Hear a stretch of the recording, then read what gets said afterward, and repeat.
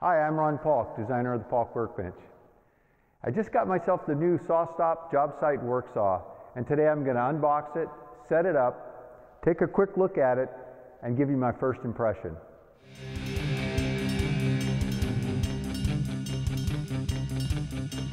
Okay, I'm going to tackle setting up my new uh, job site uh, table saw from SawStop. This is their uh, brand new saw that just came out. I've liked their uh, products for a long time, but the previous saws were, or the other, other saws are a little too big for my mobile work style. And so when they came out with this, and the idea that uh, I had that extra safety, hopefully never use it, just like the airbags in my car, but it, I'd like, I like the idea of having it there. So I'm going to set it up. I haven't opened it. Uh, I looked at it in the store very closely. You'll get to see from beginning to end how this, uh, how this goes. We'll be right back.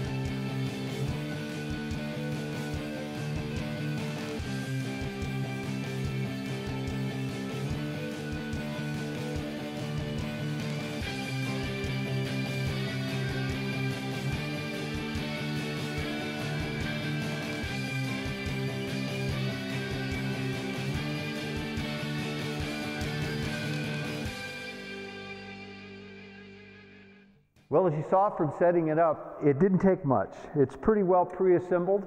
I had to bolt on the wheels and the two handles and snap on the handle to uh, raise the blade. That was it. I've ran a couple of pieces of wood through it, have uh, played around with adjusting height and tilt, and I have to say I'm very impressed. This is a well-made saw. Accurate, my first cut at an inch and a half was exactly an inch and a half right off the tape measure. The fence seems to be a real solid fence, very easy to adjust. I don't have a handle sticking out, just a push of a button and it slides very smoothly. With the uh, fence in the short position, the rail, I can go out to 13 and a half inches and then simply by lifting this lever, I can slide out my rip capacity to 25 and a half. There is this gap here uh, when you're sliding this and using somewhere in between the outside and the inside. And they've got a really interesting uh, turn of this right here, and it slides out a, uh, a shelf that will hold up any of the material. You can see how it slides off the bottom. Very easy to just turn this lever on the top here, and that slides in and out. Always remember when you're getting into the blade compartments or changing blades on any of your tools, your miter saw, your router, make sure you take the power off just in case. So accessing the where the blade goes is quite simple. Uh, with this uh, handle here to raise up the blade, one of my favorite things so far as compared to all of the table saws I've had in the past where you crank them up and down.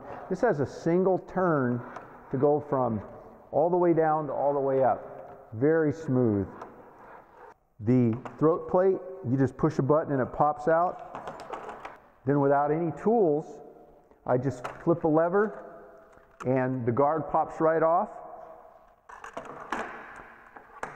And right behind the saw here, there is blade storage and wrench storage without any tools, just a turn, and the tools pop off, and then I can remove the blade.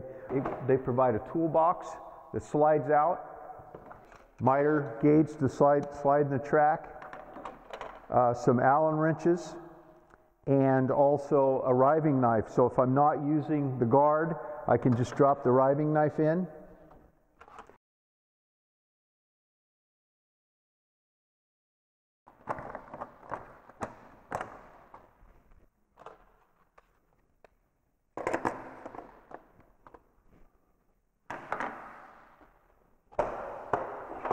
And then to tilt the blade, there's a collar, and I just have to pull that in and just tip it.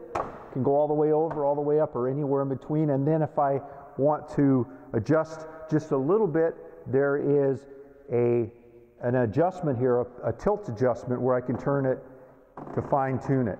The on and off switch, again, I have the power uh, pulled here, so there's no power to it.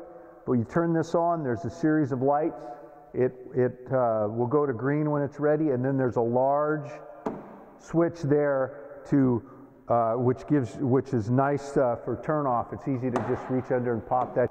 So you're not going to accidentally switch it on because you have to reach underneath it and pull it out. As you know from the marketing of SawStop, their um, really niche in the market is to create a saw that's safer to use if your body ever comes into contact with the blade, it has a mechanism, and you can see this demonstrated online. I use a hot dog at, at shows to do this, but there's this mechanism that is inside, and it essentially, and this is my interpretation, you'll have to check their website to see exactly how it works, but it's electronic and it, and it uh, detects the current uh, when your skin comes in contact with the blade, and it basically jams this block of aluminum up into the blade and stops it instantly. And the demonstration I've seen, uh, it barely nicks uh, the skin of the hot dog. And these obviously are one time use, they plug in.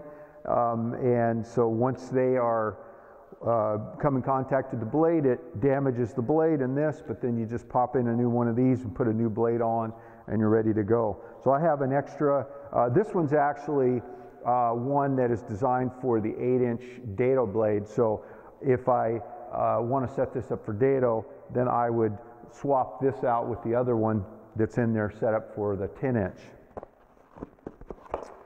And I also have a uh, dado plate. This one set up uh, when I actually do my first dado, then I'll just cut through this.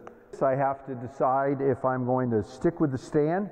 Fortunately, it's very close to the height I need for my uh, workbench. It's a half an inch taller than, um, than my benches, so I would have to make an adjustment to my sawhorses on, uh, like I like to have all my benches the same, so I would adjust them all that half an inch.